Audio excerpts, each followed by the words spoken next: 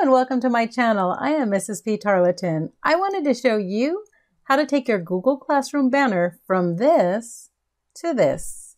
We're going to do this all in Google Slides. Let's dive in.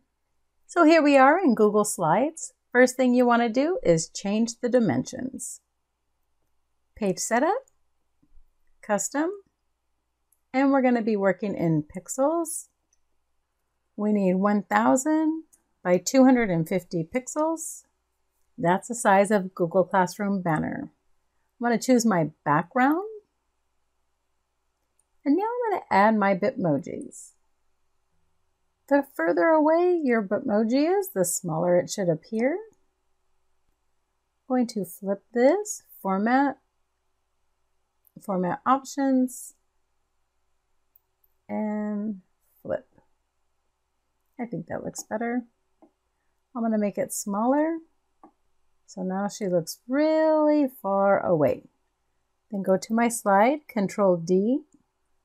And now I want to take this Bitmoji and I want to move it just a little bit. Control D, we'll copy it again. Bring her a little bit closer and a little bit bigger. And keep doing that little bit closer and a little bit bigger. Bring her a little bit closer and a little bit bigger. And if we go back to the beginning,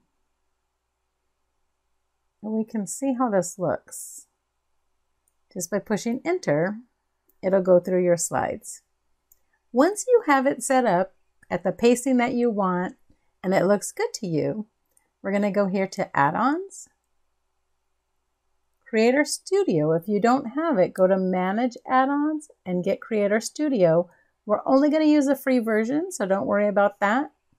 Then go to Create a GIF.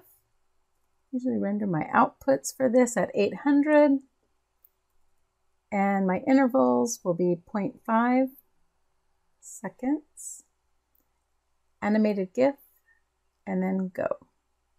Once your GIF is done, or your GIF, you'll get this here to download. It will go to your computer's downloads. Notice I didn't title my presentation. Now I'm going to go up to my Google Classroom banner that I want to change. Upload photo. I'm going to select a photo from my computer. There's the one I just created.